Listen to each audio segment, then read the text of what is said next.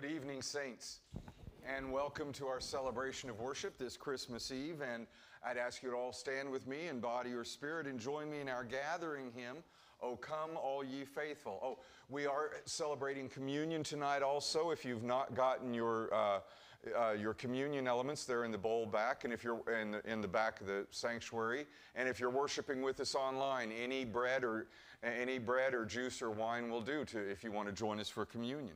Uh, let's sing together our gathering hymn.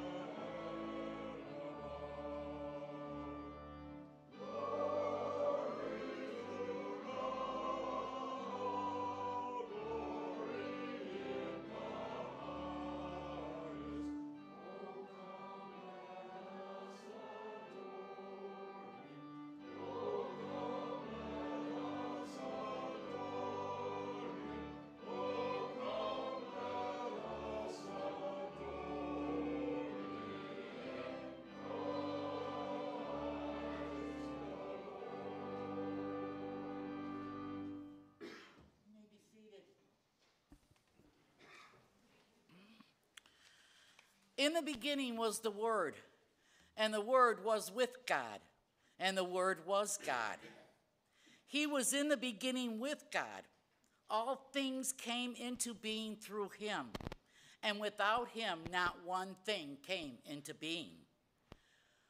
What has come into being in him was life, and the life was the light of all people. And the Word became flesh and lived among us. And we have seen his glory the, the glory as a Father's only Son, full of grace and truth.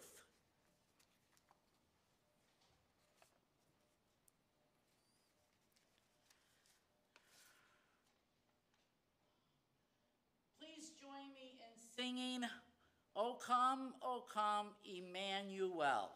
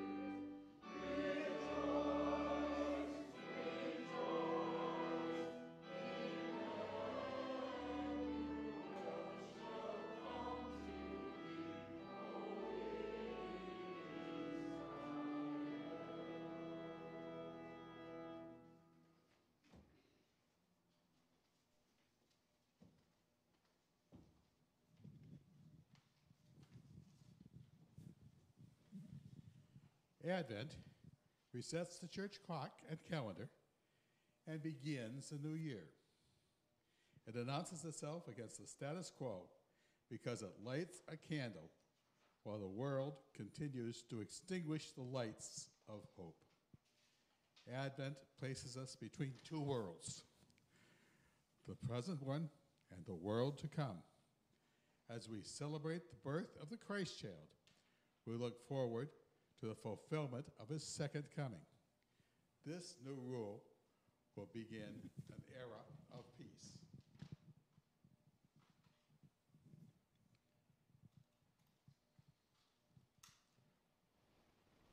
Hope.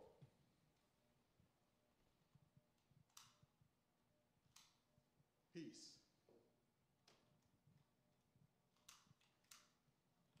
Joy.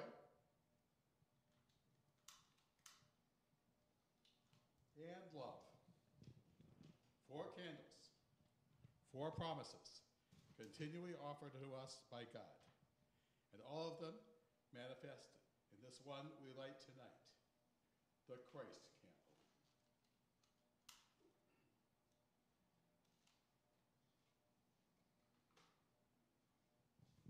In Christ, we find the hope of transformation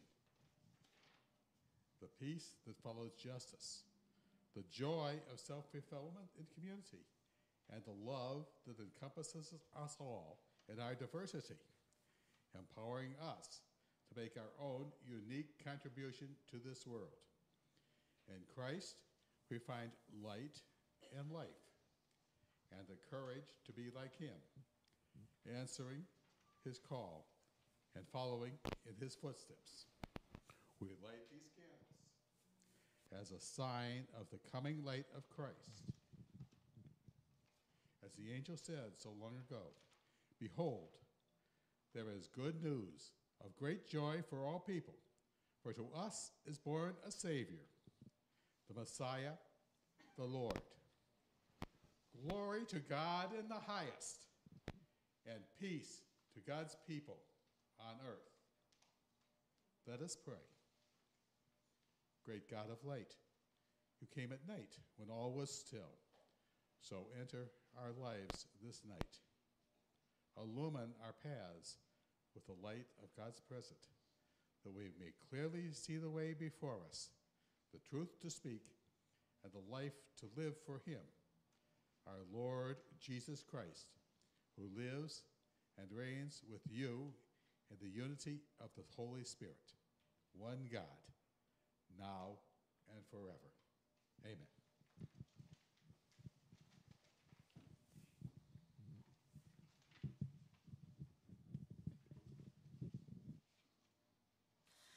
Please join me in uh, hymn of the, uh, the, the prayer of invocation. Glorious God, we thank you for giving us the gift of Jesus. Come, Lord Jesus. Where there is hatred, give love. Where there is sadness, give joy. Where there is discord, give great peace. Oh, Lord Jesus, be light for our darkness, for the hour of your birth is near. Come, Lord Jesus, be born in our hearts through faith. Glory to you in the highest, O God. Glory in the highest. Amen. Please join me in singing What Child Is This?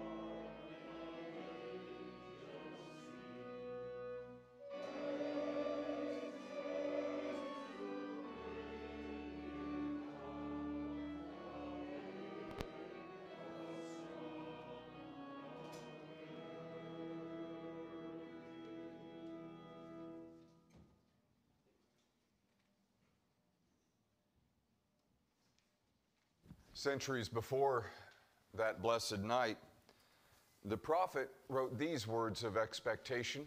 Listen for the word of God. The people who walked in darkness have seen a great light. Those who lived in a land of deep darkness, on them light has shined.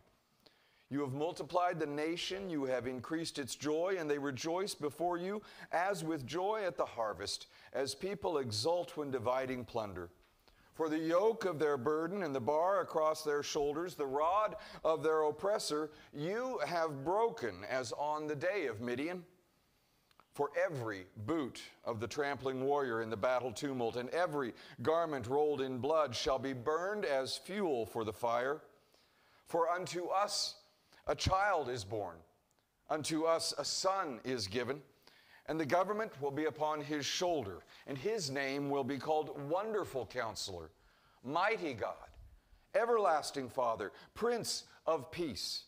And of the increase of his government and of peace there will be no end upon the throne of David and over his kingdom to establish it and to uphold it with justice and with righteousness from this time onward forevermore. The zeal of the Lord of hosts will do this. May the Lord bless us with this holy reading. Amen.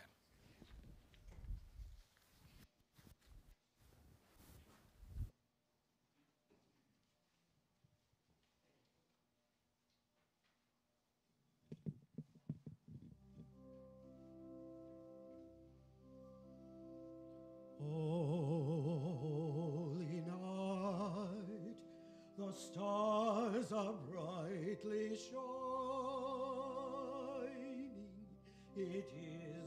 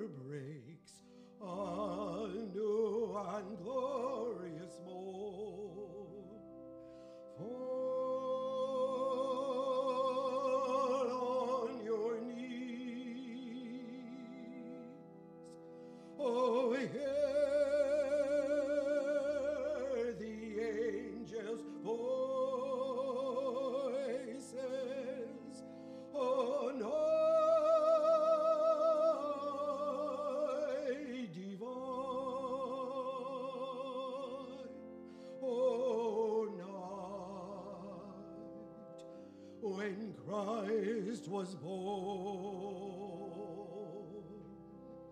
Oh, night divine,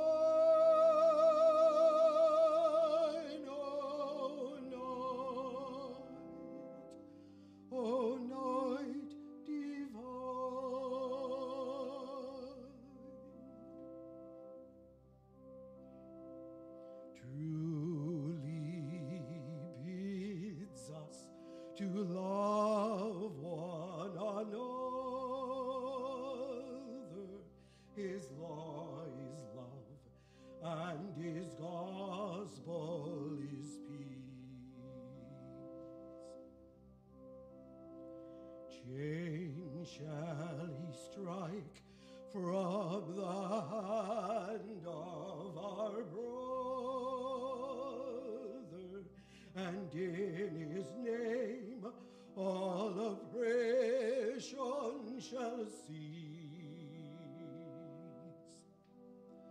Sweet hymns of praise, the grateful chorus raise. We, let all within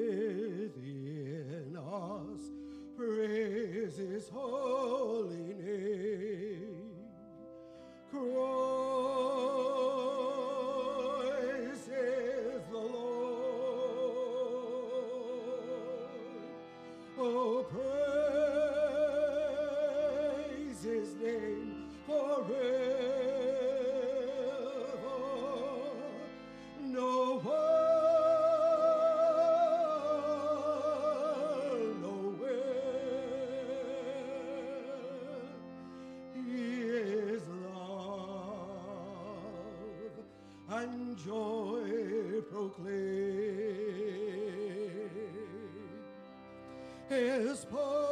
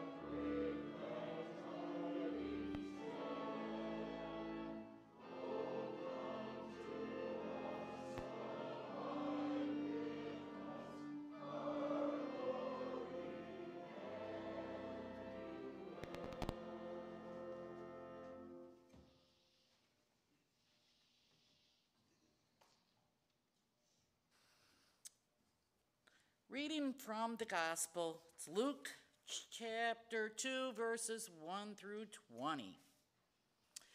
In those days, Caesar Augustus declared that everyone throughout the empire should be enrolled in the tax list. This first enrollment occurred when Qu- Quirinius dis- governed Syria. Everyone went to their own cities to be enrolled. Since Joseph belonged to David's house and the family line, he went up to the city north of Nazareth in Galilee to David's city, called Bethlehem in Judea. He went to be enrolled together with Mary, who was promised to him in marriage and who was pregnant. While they were there, the time came for Mary to have her baby. She gave birth to her firstborn child, a son, wrapped him snugly, and laid him in a manger because there was no place for them in the inn. Nearby, shepherds were living in the fields guarding their sheep at night. The Lord's angel stood before them. The Lord's glory shone around them, and they were terrified. The angel said, Don't be afraid. Look, I bring good news to you. Wonderful, joyous news for all people. Your Savior is born today in David's city. He is Christ the Lord. This is a sign for you. You will find a newborn baby wrapped snugly and lying in a manger. Suddenly, a great assembly of the heavenly forces was with the angel praising God. They said, Glory to God in heaven, and on earth peace among those whom he favors. And when the angels returned to heaven, the shepherds said to each other, Let's go right now to Bethlehem and see what's happened. Let's confirm what the Lord has revealed to us. And they went quickly and found Mary and Joseph and the baby lying in the manger. And when they saw this, they reported what they had been told about this child. Everyone who heard it was amazed at what the shepherds told them. Mary committed these things to memory and considered them carefully. The shepherds returned home, glorifying and praising God for all they had heard and seen. Everything happened just as they had been told.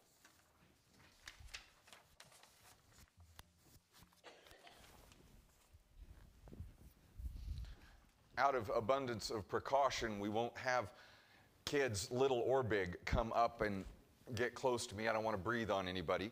But I do have candy canes as my Christmas custom, and these are the real thing.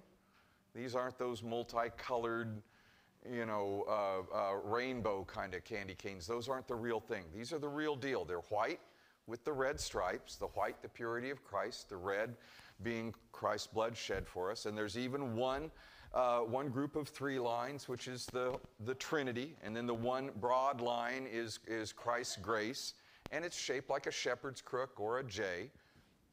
And so we know that. And I'm going to put these in the back. I've got a whole bowl, a whole basket of them.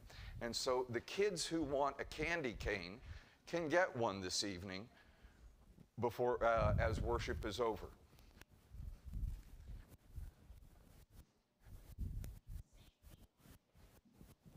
Here, Karen, I saved one for you. You're welcome. And join me in our hymn of praise, the first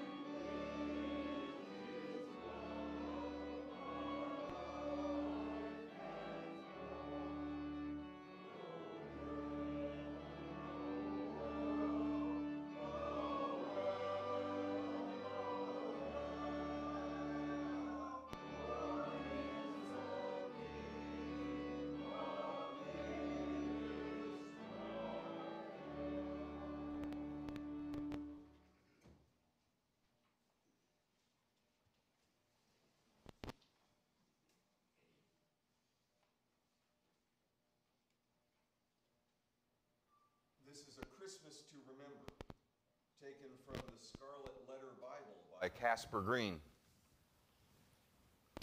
At that time, an executive order was issued from the White House that there should be a nationwide census.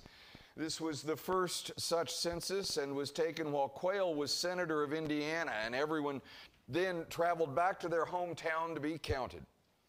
Now, since Joe was part of the David family, he went from Nowheresville in Timbuktu up to David's family's hometown, Chicago, Illinois.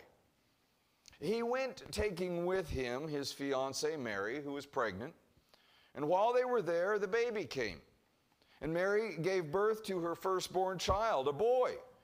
She wrapped him in some old rags and laid him in a storage bin in a garage because, well, they couldn't afford a room even in West Englewood. Meanwhile, up by O'Hare Airport, there were taxi drivers gathered in a parking lot waiting through the night for, di- for dispatch.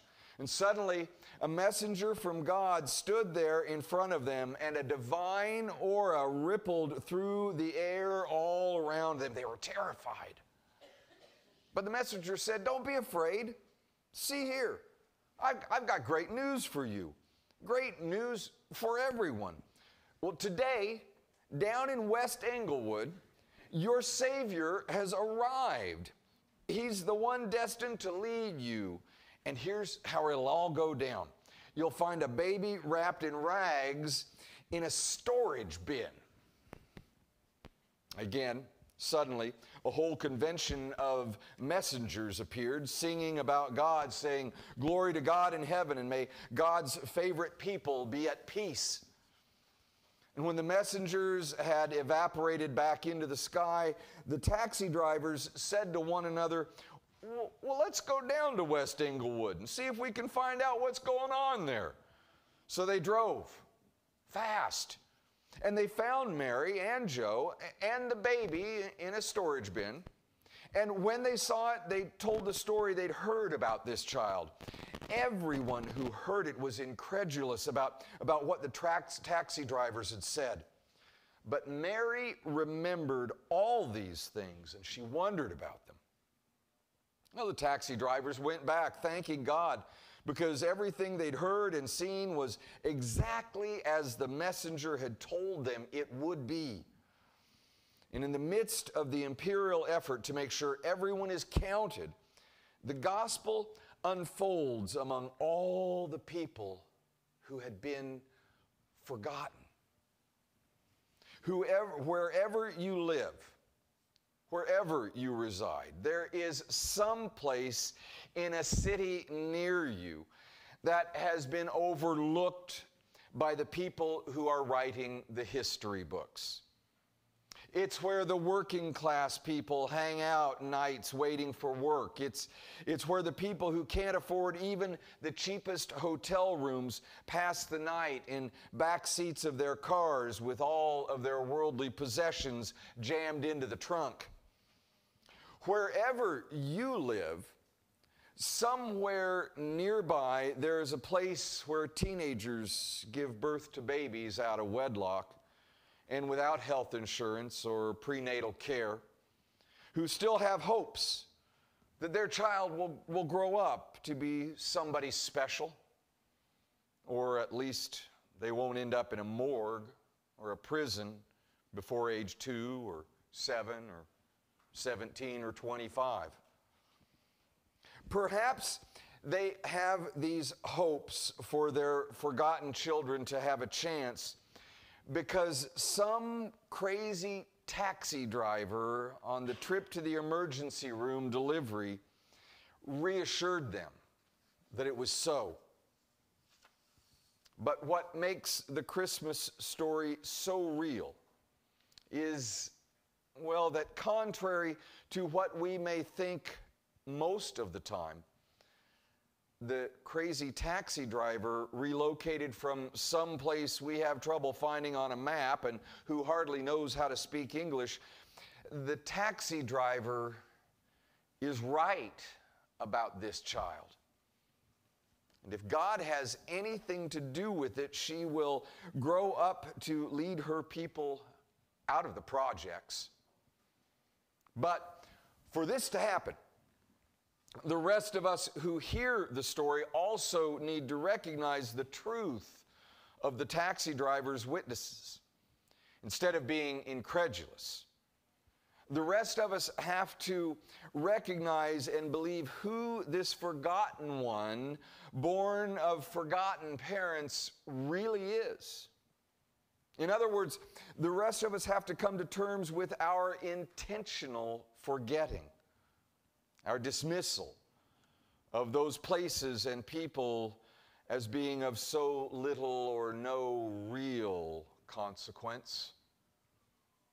The whole gospel that follows is predicated on the story about how, contrary to what you might hear in some churches, God lives out in the garage and in all the children born in forgotten places. Nothing Jesus says or does in the gospel introduced by this story makes any sense if we forget that he began his life as a forgotten child. And so this Christmas, here's hoping we'll remember longer than for just a starlit evening. Let us come to God in prayer. God of mystery and might, we praise and worship you. For you came in silence while all lay sleeping to enter our world as a child of humble birth. We thank you for your Son, Jesus Christ, born of your handmaid Mary. In his face we behold your glory, for in his life as in his death is your gift of salvation. Gracious God, by your Spirit, make our hearts burn with thanksgiving, that we may give as we have received.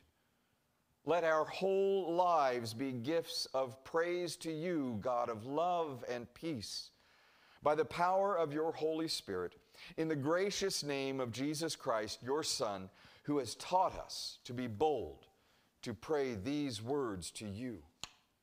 Our Father, who art in heaven, hallowed be thy name. Thy kingdom come, thy will be done, on earth as it is in heaven.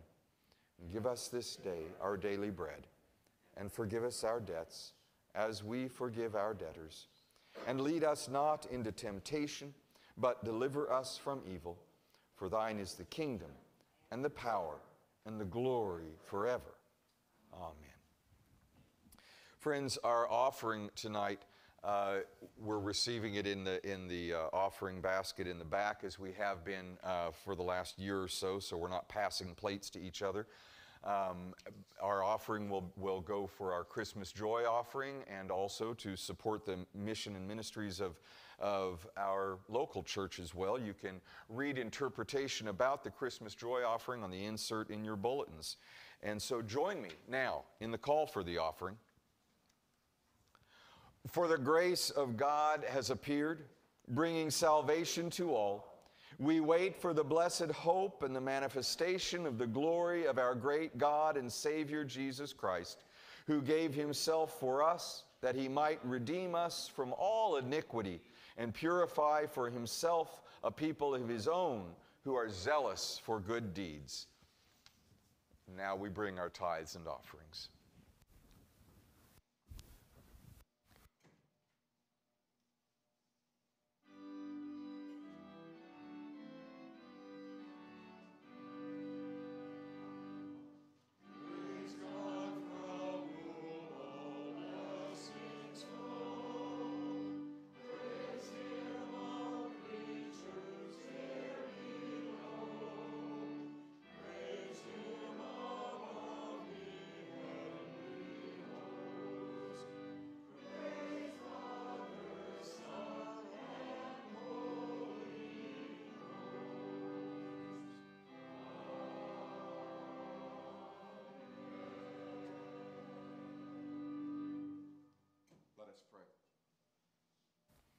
Good and gracious night on this eve that we await your coming.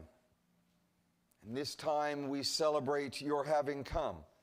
We bring to you this offering, a token of our sacrifice, and we dedicate it to you, Lord, and to your church, the body of Christ on earth. Through this offering, Lord, might your gospel be known to all your creation and all of your children in it. This we pray in Jesus' name. And may all God's people say,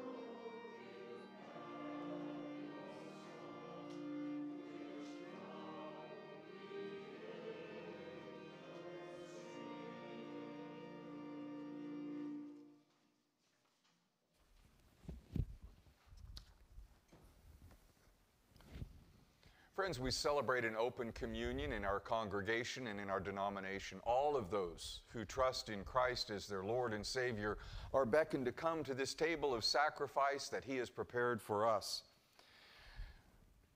I share with you the, that which was given to us. Paul and Luke both write that on that night of his arrest, Jesus sat and he ate that Passover meal with his disciples and he he took bread and he blessed it and he broke it and he gave it to them, saying, This is my body broken for you. Take and eat. In the same way, after the meal, our Lord took the cup.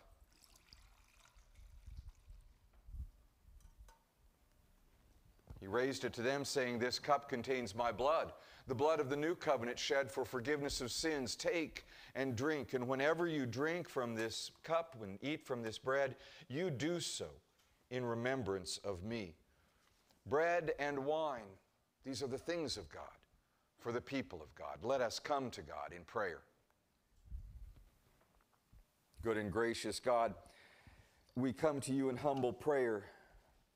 You have beckoned us to this table, unworthy as we may be, Lord. You call us anyway. And here we take these elements of bread and wine that are common and ordinary in our daily use, and we set them apart. And we dedicate them to you and to your saving grace in our lives. For from the beginning of time, gracious God, you have established covenant with your people. Willful that we might be, short sighted and, and shorter of memory, we, we wander we stray from your calling. We soon find ourselves lost and alone, frightened, without hope. We cry out to you, Lord, for saving, and you, you send us prophet and priest and king to return us to you, and gladly we come running back. But again, we're short sighted. Again, we're short of memory. Again, we find ourselves straying and lost, alone. And so, gracious God, you establish a covenant with us unbreakable. You come to us as one of us in the person of Jesus the Christ, offering us this covenant unbreakable once and for all, now, forever. In these elements of bread and wine, Lord, they represent your body broken, your blood shed for us. In these elements, Lord, may we know your presence ever real among us here that we might nourish ourselves in your spirit, strengthen ourselves as your church going forth, Lord, as your apostles carrying your word to the world. All of this, Lord, we pray to you in the name of Christ, our Lord and our Savior. In his name we pray. Amen. Friends, we'll partake of communion this evening again using these wonderful uh, little Lunchable type cups. Uh, you can see bread on one side, and then you tip the cup over, and that's got the juice on the other. We'll begin. Uh, you peel the bread off, the bread cover off. And friends, this is the body of Christ broken for you. Take and eat.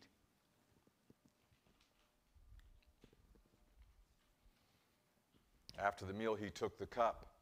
You can peel that side off simply. This cup is the blood of Christ shed for our sins. Let us drink together from the cup of salvation.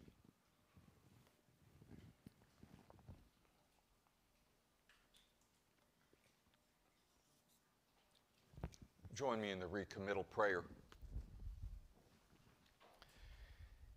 Empower us by your Spirit, O God, to be Christ's presence in the world even as Jesus was God with us, give us courage to speak His truth, to seek His justice, and to love with His love. Keep us faithful in your service until Christ comes in final victory, and we shall feast with all your saints in the joy of your eternal realm. Through Christ, with Christ, in Christ, in the unity of the Holy Spirit, all glory and honor are yours, Almighty God now and forever. Amen. Joyce, would you turn the fans off, please? Thank you. Now we'll pass the light from the Christ candle, and uh, so that we uh, don't drip hot wax on ourselves or get burned or anything like that, I urge you to um, tip or leave the lit candle upright and tip the unlit candle to receive the light as uh, we pass it.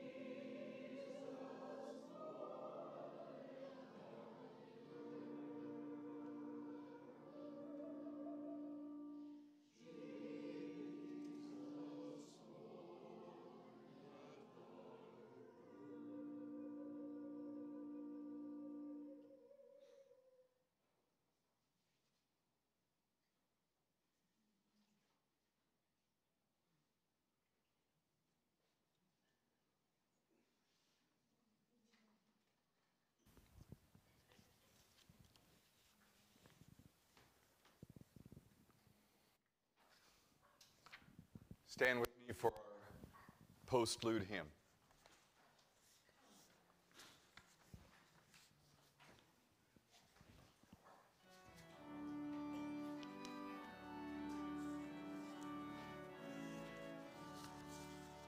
Joy to the world,